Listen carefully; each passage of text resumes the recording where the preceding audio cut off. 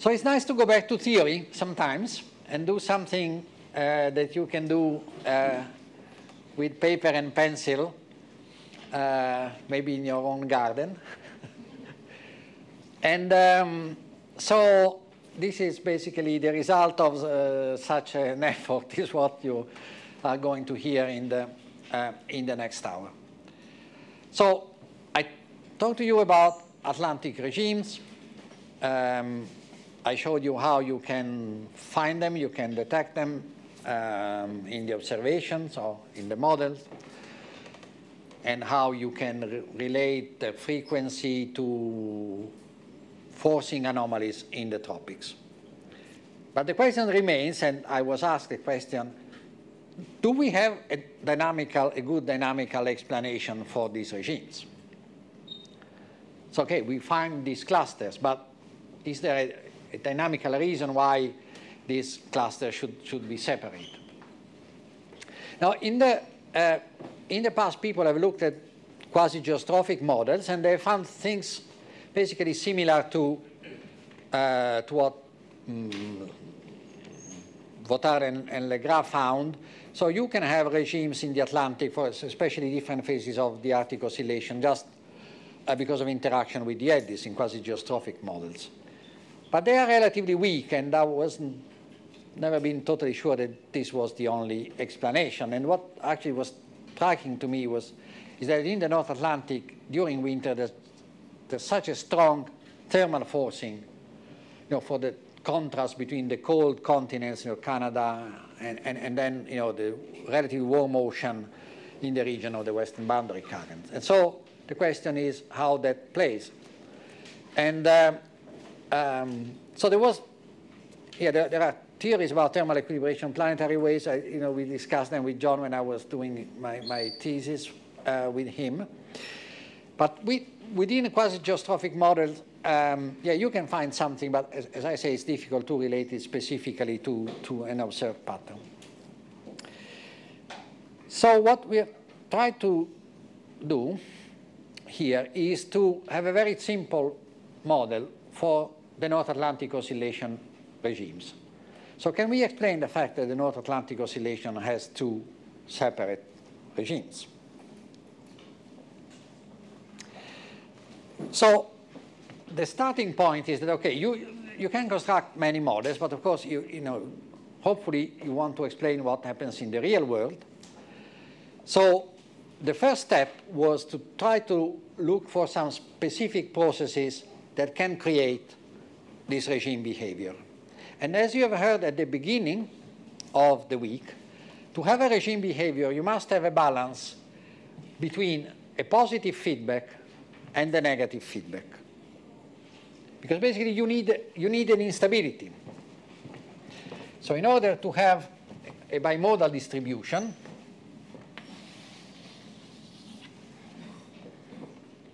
it means that when the system is around here, there will be some instability that will bring the system either in this direction or in this direction. And on the other hand, once you are in this point, if you move further down here, then you need some restoring force that will bring you the system back. So you need an instability and some damping, some dissipation terms. Now, in linear systems, if both the unstable and the stable part are linear, they will combine and the result will be that either you have an unstable mode or you have a stable system. In nonlinear system, you can make this feedback dependent on the state itself. So in particular, if this instability actually decreases gradually, then basically you reach a state where the restoring force may win and bring the system back. So, this, so you need these, these two ingredients. So the first thing was somehow to try and find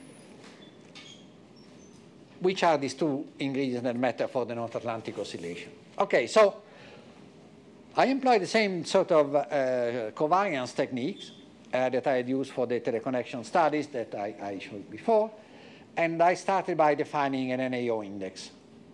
And since I think my interest was to basically look at NAO in the context of this possibly this wave number two pattern, um, what we did was not to use maybe the traditional Iceland minus Lisbon index or, or some local ones, but something that would really look at the structure of the planetary waves on, on a wider scale. So we define the index of the, as the difference in geopotential height between uh, two boxes, basically uh, one covering this area here and one covering this area here. If you do that, uh, you have an index of the NAO, uh, you standardize this index, and you can compute covariances with various fields. So let's start with the simple ones, geopotential height at 500. Well, this is just the result of how you have defined the index, and you have a pattern that looks like the traditional uh, NAO definition. Now, uh, if you do that with um, potential height at 850 instead of 500, um, well, you get a pattern which is very similar, almost in phase, uh, slightly smaller amplitude. And if you look at the difference between the two, basically that gives you the mean temperature in the lower troposphere, and that is what you get. And again, uh, perhaps you, you see a bit more structure here, but roughly the position of the low and the high here is, is roughly similar.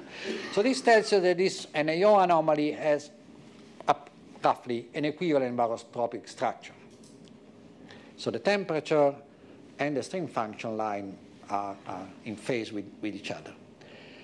Now, you can also see that most of the signal is actually in this half of the hemisphere. So you can draw a line at 135 west and 45 east and actually look at what happens in this part of, of the world.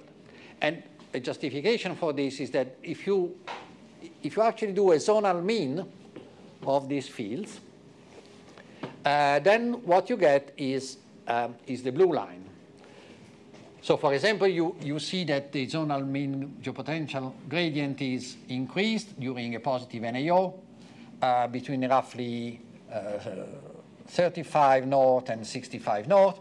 And so you have an increase in the strength of the zonal wind in this region, and you have opposite signals to the north and, and to the south. Similar thing at 850, and you can see this mainly comes from the temperature. You know, in the temperature, you, you, you see basically an increase in the, um, so you have a stronger uh, zonal mean gradient of temperature, so temperature decreases faster with latitude during a positive NAO. Now, what are the green lines? The green lines are what happens if you only consider the contribution from this half. So, if you just set the other half to zero, and you can see that you get almost the same thing. So, this somehow justifies the fact that we can study our North Atlantic oscillation basically just concentrating um, on what happens in this uh, part of, uh, of the world. So if we um, think about something which is roughly zonal wave number two structure, when you look at the whole hemisphere, then it becomes basically just a wave number one in this half of, of the hemisphere. Now, an important thing about, I think this is the real crucial point of, of the whole theory. An equivalent barotropic anomaly cannot affect temperature because the, uh, the stream function lines and the isotherms coincide. So, you know, you, you, you have, um, if you have a low, you also have a cold anomaly, okay? So the flow just goes, follows the isolines of temperature, and by definition, you have no temperature advection. So in order to have transport of heat by the horizontal flow, you need to have a baroclinic structure, so one where the stream function and the temperature are not in phase. Now what happens is that, sorry, we are here. So the NAO anomaly is roughly equivalent barotropic, but this NAO anomaly is superimposed to climatological stationary waves which are not equivalent barotropic. So if you actually plot, so, and I took the, um, the stationary waves at 850 hectopascal in DJF uh, for these latest 30 years or so. And what you see here are a plot of meridional velocity, V, and temperature. Now, if the structure was equivalent barotropic, then this would be out of phase with, with each other. But actually, you can see that there are regions here, here, here, here, where they have the same sign. This means that if you do the product of this field, these are only the eddy fields, so the stationary waves. So if you multiply this by this, the result is positive. So this tells you that the stationary waves transport heat to the north. So when you think about the effect of an NAO anomaly, even if the NAO anomaly is equivalent barotropic, it can still change the heat transport because it's superimposed to stationary, the rest of the, of the stationary waves. Uh, you, you, can see here that while the NAO anomaly, you, you remember, has a dipole in this direction, this, these stationary waves have a broader meridional scale, so you have, you have the same sign almost you know, from 17 or to, to, to 20.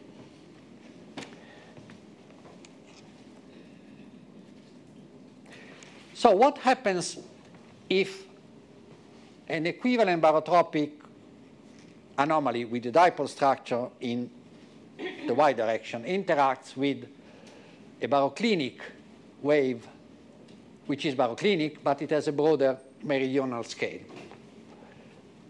So here is, is our uh, an idealized version. So you have, um, now we are just looking at this 135 west to 45 east sector.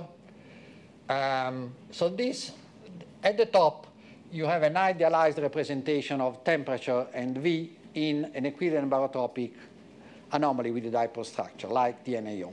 So this is our sort of NAO-like anomaly. And and then you have the stationary waves with a broader meridional scale, like this one. And while the equivalent barotropic anomaly has the V and the T out of phase, we have seen that in the real climatology, the V and T actually are positively correlated. So I have only put a, a, just a 15 degree shift between these fields. Okay? So these are uh, idealized pure sinusoidal functions. Now, what happens if you compute the products? So this is the result. Uh, so basically, you can decompose the anomaly into the product of the anomaly in V times the climatology in T plus the uh, climatology in V times the temperature anomaly. And because of this particular structure, so while, in, again, in an equivalent barotropic anomaly, these two terms would exactly cancel each other, because the climatology is not equivalent barotropic, the VAT clim term dominates. And so the, the result is that in the total, total result is that a positive NAO anomaly would actually increase the heat transport around 60, you know, between 60 and 70 degrees north. So if we do the uh, zonal mean of this, you get this curve, and this curve has two zero points. Why it has two zero point. One is that because the climatological temperature eddy goes to zero here. So that gives you this zero. And this zero occurs because the V goes to zero in the middle of, of the channel, the V of, of the anomaly. While around 65 to 70 degrees north, uh, you have these strong peaks that dominate the negative ones, and you have this. So this is the V star T star. Now, to get the, the, the temperature tendency, you need to take the y derivative of this. And so if you look at this part here is zero, here is zero. So the, the, the mean derivative in the southern part of the channel is, is zero. While the derivative in the northern part of the channel is positive and very strong. So this means that the NAO anomaly will hardly change the temperature in the southern part of the channel, but it will cool the northern part. So if you cool the northern part and you don't change the southern part, you, you increase the zonal mean wind. So basically, what we are telling is that the, uh, the eddy part of the NAO anomaly is able to reinforce the zonal mean part of the NAO anomaly. So uh, an eddy will actually, the eddy configuration that the observation is found together with the increase in zonal mean wind is actually able to increase the zonal mean wind by transporting heat to the north. Now, this is an idealized case. Now, what happens if you look at the real world?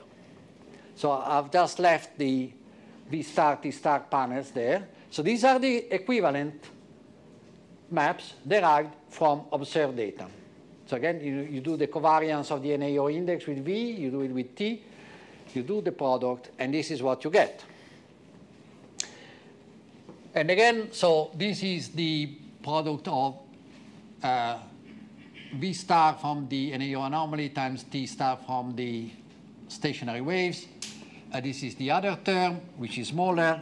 The result is dominated by this term.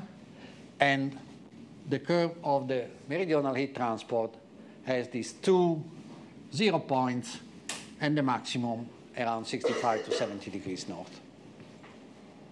So the simple framework explains what is the effect of, of the NAO on the zonal mean flow. So this gives us our positive feedback because you know you have an NAO anomaly in the eddies. This, this actually is able to increase the zonal wind, which is also associated with the positive NAO. Now we need a negative feedback. A negative feedback is provided by the surface heat, the heating associated with the surface heat fluxes. Now we can actually write uh, uh, the, surface, the turbulent heat fluxes, which, is, which are the sum of um, sensible and latent heat flux, basically as a flux of moist static energy at, at the surface. And the standard uh, aerodynamic bulk formula will tell you you, you have a coefficient, you multiply it by the density of the air, you multiply it by the wind speed at the surface, and then the difference in uh, uh, basically moist static energy between the surface and the atmosphere just above the surface. Now, usually, uh, in many simplified models, you can actually represent this heating by neglecting the variability in, uh, um, in surface mean wind. You say, well, that's climatological, you have fixed. And, and so you can eh, you probably neglect the, um, the term associated with latent heat, and then you have a simple linear damping of, of temperature. This looks fine. But actually, if you look at what actually happens in the North Atlantic, you find that the surface is fluxes are mainly driven by the variation in the surface wind speed. So if I now uh, compute the covariance of the 10 meter U wind with the NAO anomaly, then you get, well, what, what we expect. So stronger zonal winds, basically in, in the mid latitudes, so westerly anomaly here, easterly anomaly in the tropics. The corresponding variation in the surface heat fluxes is this. And you can explain a lot of this structure by just basically adding a positive anomaly to the climatological surface winds. So basically, wherever you have a positive anomaly superimposed to positive westerlies, you increase the zonal wind and you increase the heat fluxes. In this case, the heat fluxes are upwards. When the positive anomaly is superimposed to climatological easterlies, you have a negative. When the anomaly easterlies are superimposed to uh, easterlies, climatological easterlies, the trade winds, uh, again, you have positive. So this is a famous tripole in heat fluxes that drives the, SS, the tripole in SST anomaly, which is associated with the NAO. Now, this is the covariance with this NAO index. But you can basically get almost the same pattern if instead of doing the NAO index, you just take the mean, zonal mean U wind at 850 as your index. And you basically correlate this with the heat fluxes. And what you get is this. So basically it tells you that over, over the Atlantic, if you know the strength of the zonal mean westerlies, you basically know the intensity and distribution of the surface heat fluxes to, to a pretty large extent. And that's because it's the variation in, in the wind speed that dominates the variability in, in the heat fluxes. Now, okay, so we, the heat fluxes will put heat into the atmosphere. And this is again the, you know, the, the uh, temperature anomaly at 850, which is associated with a positive NAO. And if you actually compare the temperature with the heating, you see that these two anomalies are negatively correlated.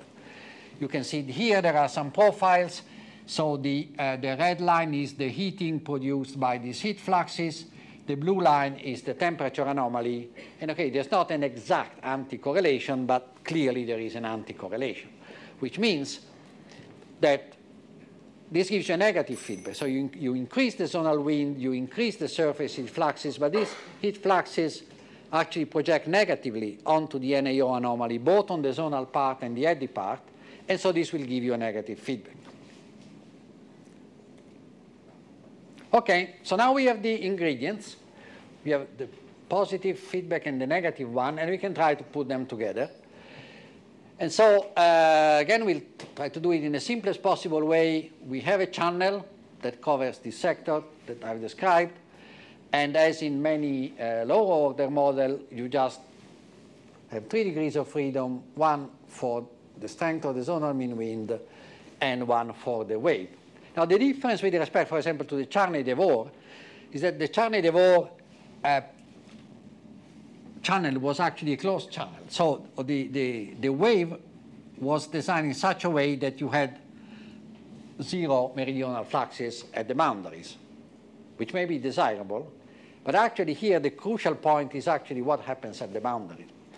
And the NAO anomaly actually has the, the largest amplitude at this extreme. So this is what I would call, call an open channel.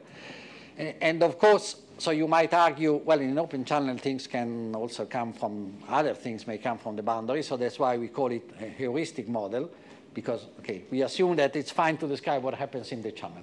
So if you believe me, then basically um, you want to describe what happens to the stream function in this channel. So you have a mean zonal flow minus uy. You have a wave pattern which is associated with the NAO, which is described by this wave, and in particular this phase, this particular phase of the wave um, has this uh, low here over Greenland, so it looks like the NAO anomaly. And this actually is more in phase with the forcing, with the thermal forcing, because at high latitudes it, has, it is cold over Canada and warm over the ocean. So the, the climatological land-sea contrast will project onto this pattern, but what we want to know is what happens to this phase, which looks like the NAO. Then what we have to consider are the interactions of this wave with a wave of larger meridional extent, so the, the, the wider scale component of the stationary waves. And I've shown you this is important because this will give you the feedback onto the mean zonal flow. So the first thing is, okay, let's just consider the first element. That is just the advection.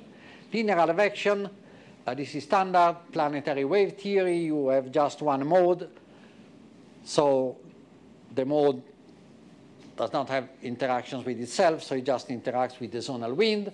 And so you can use this, you can basically describe it um, evolution by a simple uh, barotropic uh, uh, vorticity advection where the, the Laplacian of the stream function is, is, is the vorticity, and its derivative is basically given by the advection of, of uh, relative vorticity by the zonal wind plus the transport of planetary vorticity, which is the beta term. Simple, standard, you find in all textbooks, Holton, Wallace and Hobbs, whatever. So because your wave is, a simple wave is an eigenfunction of the Laplacian, uh, you can further simplify the, uh, this equation, and so the evolution of the stream function is basically proportional, proportional to its to its zonal gradient multiplied by the difference between the two winds. One is the actual zonal wind, and this is the value of the zonal wind that will make the wave stationary. So the wave will become stationary if this is zero. Okay? So this beta over n square, where n square is basically the, uh, the total wave number of the wave, when this is zero, the, um, the wave is stationary. So if we now redefine, if we define a u prime variable as the um, difference of u from this stationary value, and you also um, assume uh, a time scale um, of about 23 days that will show you why. Uh, basically, you, if you project this equation onto the simple mode, you get some very, a very simple cycle. Okay, so the A is uh, increased by the advection of B, and B is decreased by the advection of A. So this will give you a simple propagation. And this uh, factor alpha depends on the time scale you have assumed. So you, we can choose this time scale uh, in order to make this alpha coefficient equals to 1, so we can drop it from the equation. So, so A and B doesn't have any spatial uh, A and B are the two phases of, of this wave. So A is the coefficient that multiplies the NAO pattern, and B is the coefficient that multiplies the pattern which is just in phase with the land-sea contrast. It, it must be a 90 degree phase difference. They are, exactly, and they are at 90 degrees.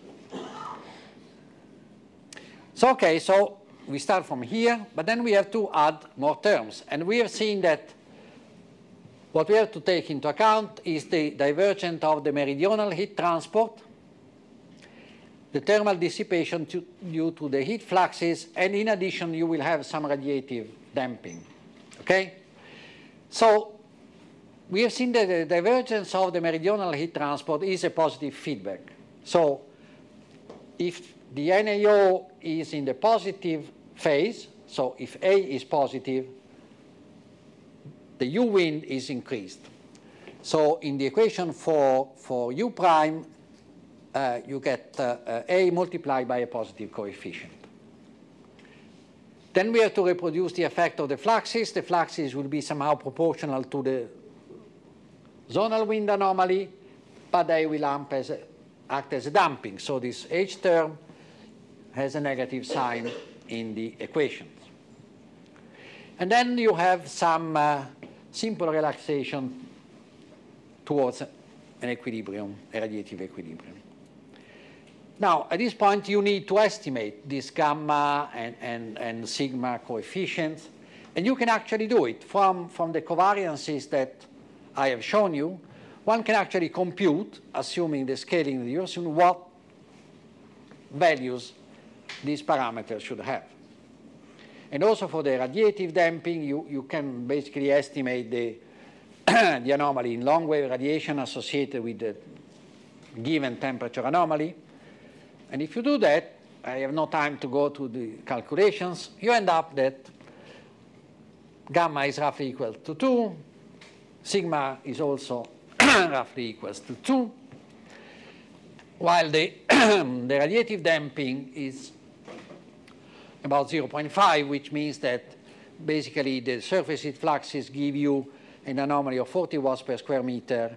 The radiative anomaly will give you a flux of about 10 watts per square meter. So the radiative time scale will be four times So the time scale is basically the inverse of, of these coefficients.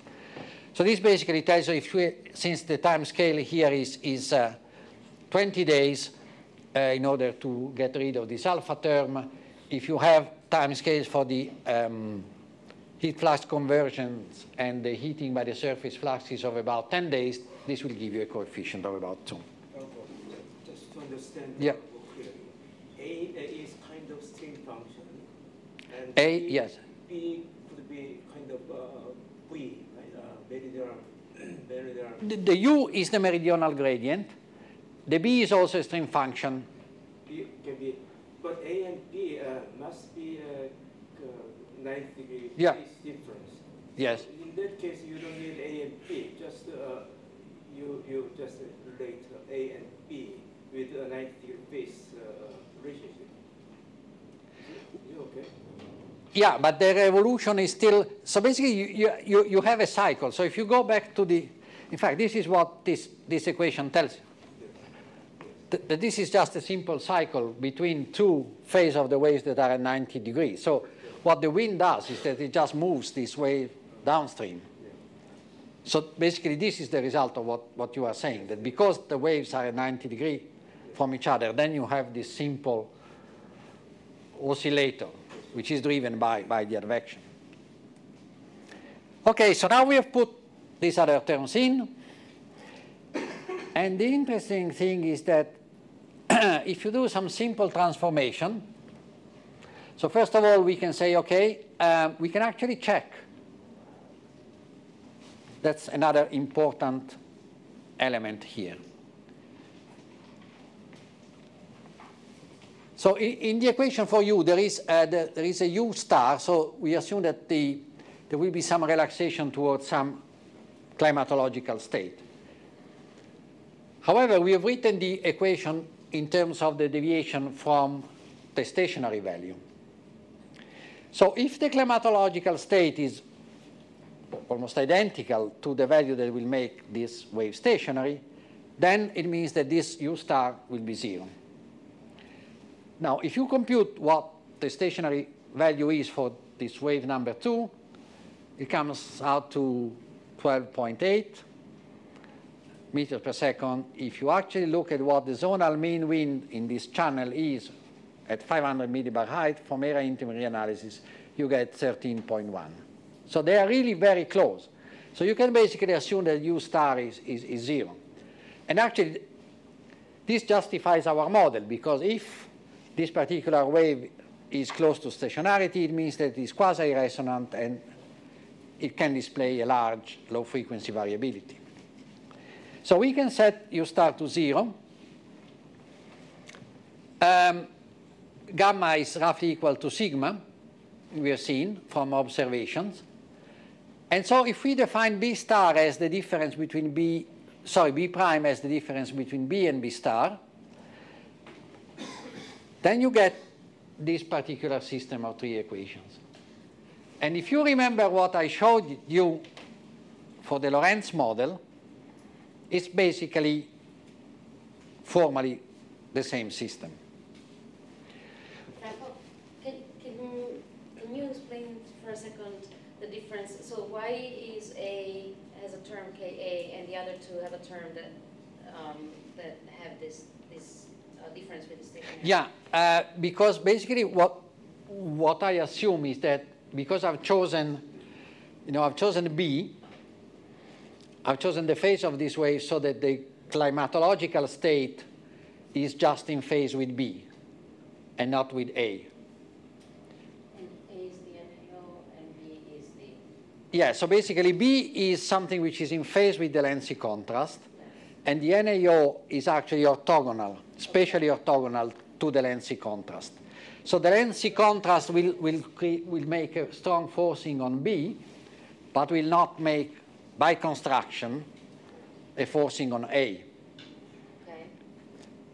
So this comes out, yeah, Okay, if I had chosen a a different phase, then you would have had forcing on both A and B. But simply because I've chosen the phase in such a way that just B is, is, in, is aligned with the land-sea contrast, then, um, yeah, you, you don't have an equivalent A star.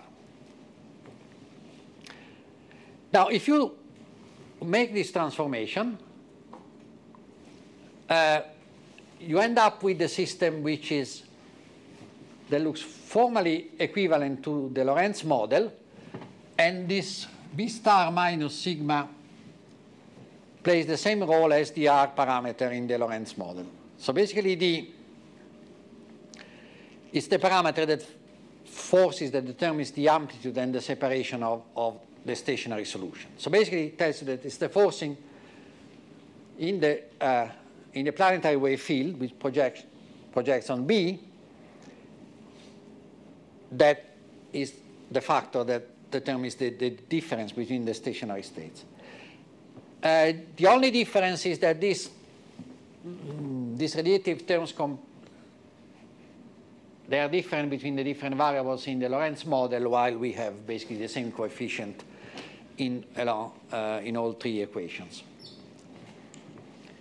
But okay, so if this is formally equivalent, uh, then you can expect that the attractor is similar in a suitable range of parameters. And well, if this B star determines the amplitude, yeah, you, you have to say what, what is B star. Now, um, it's very difficult to say what is B star because it's a cumulative effect of thermal forcing, but also orographic forcing of the climatological waves. So here we took an empirical approach. We say, well, we can compute what the stationary solutions are as a function of B, and we know what the amplitude of the typical NAO anomaly is, so we choose a value of B which is consistent with that. It turns out to be 12 so if you choose 12 and you integrate the system, well, you would expect that you get a Lorenz attractor. So basically, uh, and, and the green points here, so these are basically scatter diagrams of the uh, U wind against the, say, NAO amplitude. Uh, this is the U wind versus the wave which is in phase with the, with the land-sea contrast, and these are the two waves. And what you see on the left are time series for the three coefficients. Okay, it looks like the Lorenz model, so uh, it's fine. Uh, so this will basically tell you that you will have two NAO regimes, one corresponding to stronger zonal wind and the positive phase of the A wave, and one corresponding to weaker zonal wind and the negative phase of, of the wave. Um, and the green points are given by the stationary solutions. Well, there's one stationary solution which is, again, zero motion, like in the Lorenz model, and then two stationary solutions which are weakly un unstable. Okay, the point is what happens if you change B? That's interesting, but that, that would bring us to uh, a lot of other lectures. Now, what this model describes are just basically just the interaction between the planetary waves and the zonal flow.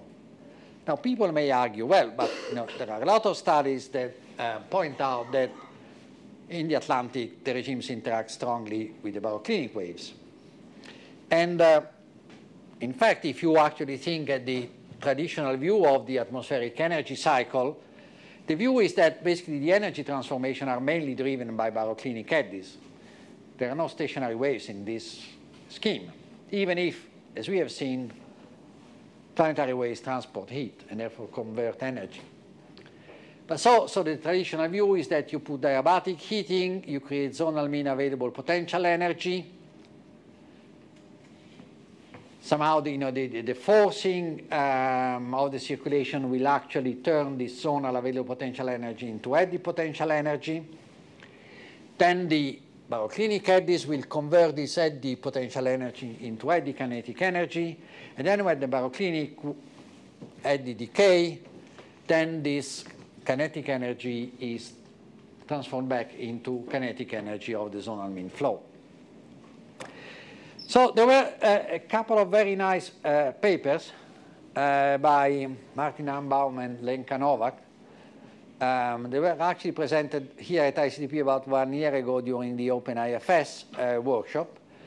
And in fact, I, I, have to give credit to them because it's the heuristic model that gave me, you know, uh, that challenged me to, to, to find this simple you know, NAO model. Basically, what they were interested in was in a much simpler problem. So just the interaction between the zonal mean flow and the, the integrated amplitude of baroclinic eddies. And what they developed is a simple nonlinear oscillation, which is analogous to the predator-prey model, where basically the amplitude of the eddies grows at the expense of the available potential energy of the zonal mean flow.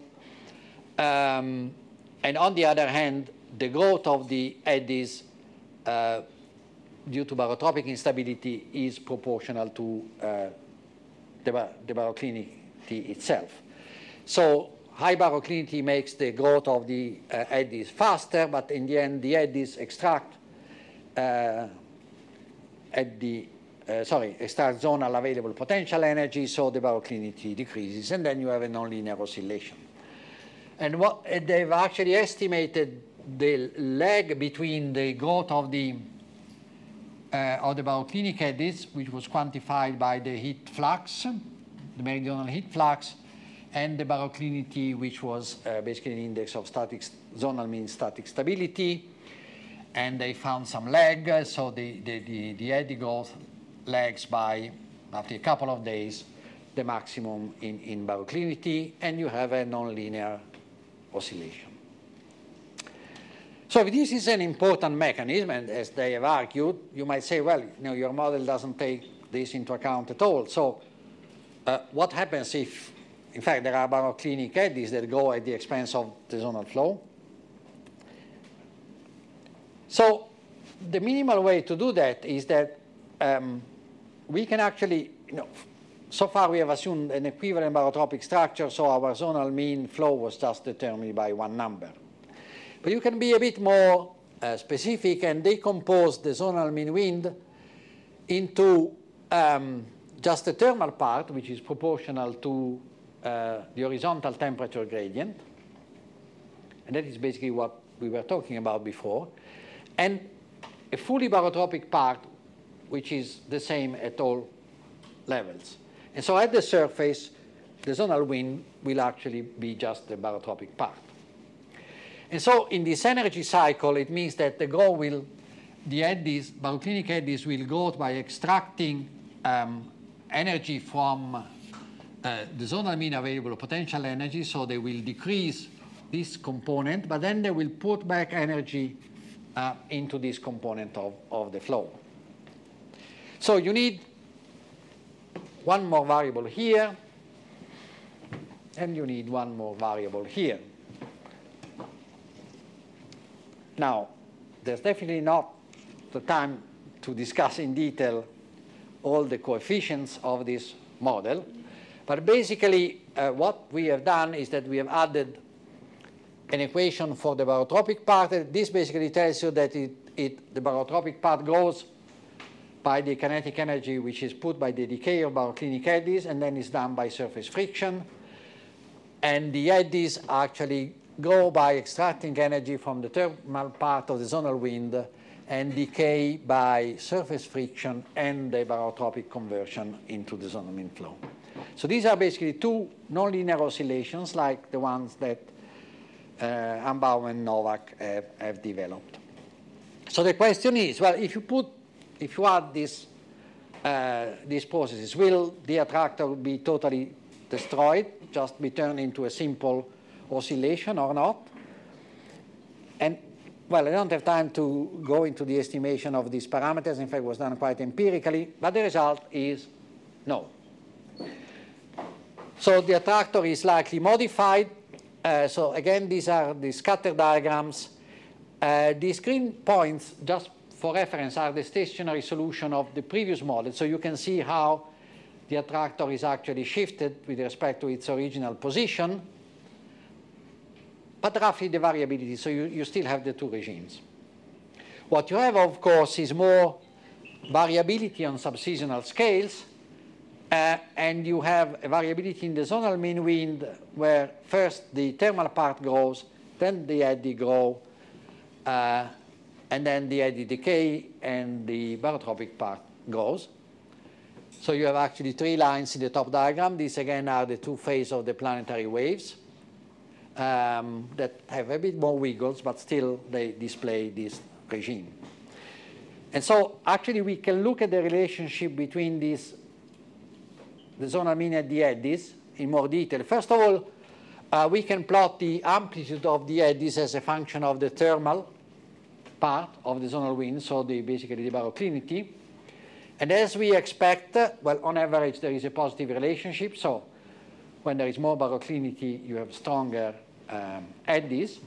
But if we look at the detail as the time relationship, uh, this is the, basically the lag correlation between the amplitude of the baroclinic eddies and in red, the thermal part of the wind, and in green, the barotropic part of the wind. And the, the axis, x-axis gives you the lag between the wind and the eddies. So this basically tells you that the eddies get larger about three days after the peak in the baroclinity.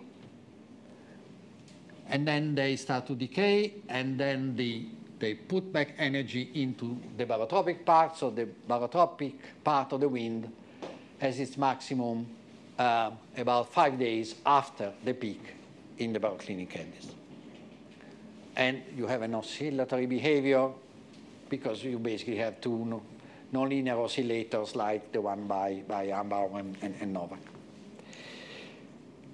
Okay, so we didn't want somehow, you know, this part, uh, it, it's basically just to, to demonstrate that this regime structure is not actually destroyed if you add the interactions by baroclinic eddies. Of course, you could, you could choose another way of specifying this, in, this interaction, but since this has been you know, quite discussed in the literature, um, we just wanted at least to have this, uh, um, this type of interactions in the model. So basically what we have seen is that regimes in the NAO can exist because of the balance of a positive and negative feedback that involves the zonal, the eddy component of the NAO anomaly, and the heat fluxes. The positive feedback is due to horizontal heat transport by the wave that interacting with climatological stationary waves, which are baroclinic, can actually modify uh, the transport at the northern edge of the channel and therefore can either increase or decrease the strength of uh, the thermal wind. The negative feedback is due to the thermal damping caused by the heating anomalies driven by surface fluxes. So, and because the surface fluxes are so dependent on the zonal wind speed, again, this becomes just a simple feedback between the strength of the zonal wind and, and the thermal damping of the NAO anomaly. So adding these two feedbacks to a simple cycle we just described the vorticity advection of the wave, then you get a three-variable model which is formally equivalent to the Lorenz model and therefore, like the Lorenz model, it has a chaotic attractor with two regimes, and that's nice. So we can say, well, there's some justification for assuming that positive NAO and negative NAO are real regimes. You can argue what happens if, in addition to just zonal wind and planetary waves, you add the effect of the baroclinic eddies. So we have used a simple theory developed you know, in, in previous papers to do that. And basically, this, the good news is that it doesn't destroy the chaotic attractor, it just puts basically more variability in the subseasonal scale. So that's almost work in progress, so we still have to finally get it into, uh, into the literature. But we thought that, well, you know, this is a school of multiple equilibria, and so this was quite uh, you know, a fitting uh, topic for, for that. Uh, again, it's a very simplified model. You can say, well, it's a gross simplification of reality, as any simplified model is, but at least it gives you a conceptual, a conceptual framework uh, that somehow justifies these observational uh, results. The other thing that I can do is that because, um, you know, the, the calculations that are done to estimate, for example, these gamma and sigma coefficients, these have been done on real data. You can do them on models. So for example, instead of just using these simple metrics that uh, we use to see whether our CMIP 5 or CMIP 6 models give a good representation of uh, you know, the, the mean in all the variables, we could actually compute these coefficients from the models and see whether they have the right strength of the positive and negative feedbacks. And because the regimes come out, because these gamma and, and sigma are both similar and uh, they are both two. So it's their balance that gives these regimes. If one is dominant over the others, uh, you will get something very different. So, so in, in the future, we hope that we could actually repeat these just calculations of, of the strength of the feedback, maybe from model data. It might become boring. I, we don't know whether we will get anything out of it. This could be a way of actually, hopefully, seeing whether the models have the right dynamics to reproduce DNA regimes. And that concludes uh, my lecture, so thanks a lot for your attention.